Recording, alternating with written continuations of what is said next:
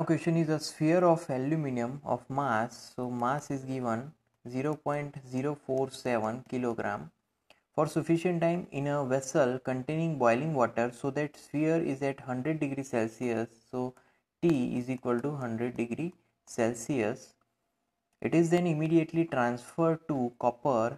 So another mass m dash is equal to 0.14 kilogram ca uh, calorimeter containing so another m double dash is equal to 0.25 kilogram right? Of water at uh, 20 degrees celsius so t is equal to t dash is equal to 20 degrees celsius. The temperature of water rises and attains a steady state 23 degrees celsius so t double dash is equal to 23 degrees celsius. Calculate the specific heat capacity of aluminum right?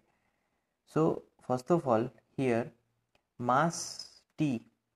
So that formula that is Q1 is equal to ms delta T. Now here a sphere and 100 degrees Celsius. So steady state we will get at uh, 23 degrees Celsius right?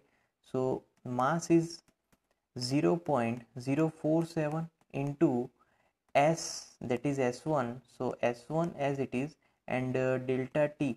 Delta t is 100 minus 23 so 100 minus 23 that is uh, 77 so 77 into 0 0.047 we will get uh, 3.619 s1 now q2 we have to find. So q2 is equal to m2 S2 delta T2 plus M3 S3 delta T3. So here we found Q1 which is 3.63 uh, S1 and uh, Q2 is equal to 3.3 into 10 raised to 3 right. So by comparing these two because whatever loss of aluminum it is given to container. So Q1 is equal to Q2 gain by similar heat.